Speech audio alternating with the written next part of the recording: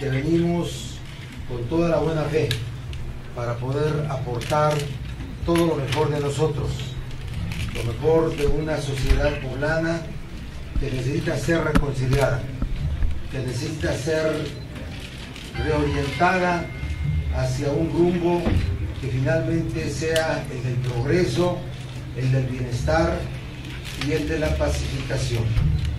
Lo necesito para hacer una gran campaña los necesito para poder construir el Puebla que soñamos, el Puebla del que hemos hablado. Pero necesito a todos, necesito a todos y cada uno, a todos los sectores y segmentos sociales. Yo no soy hombre de élites, yo no soy hombre de privilegios, soy un hombre de vida ordinaria, de vida normal.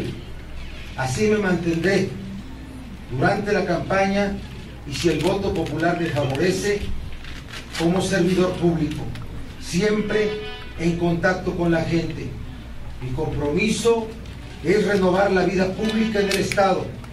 Mi compromiso es reorientar el rumbo que en Puebla se ha desviado. Vamos a pacificar Puebla, pero lo vamos a pacificar encontrando los cauces de buena convivencia, nunca de impunidad buena convivencia. Hay que acreditar que en Puebla la política sirve. Hay que acreditar que en Puebla la política puede ser una actividad que sirva para conseguir el bien común.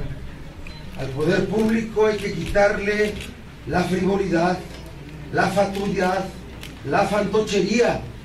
Hay que hacer del ejercicio del poder público algo útil, algo cotidiano, algo humano. Nunca más el poder para hacer el mal, nunca más el poder para el espionaje, nunca más el poder para beneficiarse. Hay que hacer de la vida pública el mejor experimento de la vida social.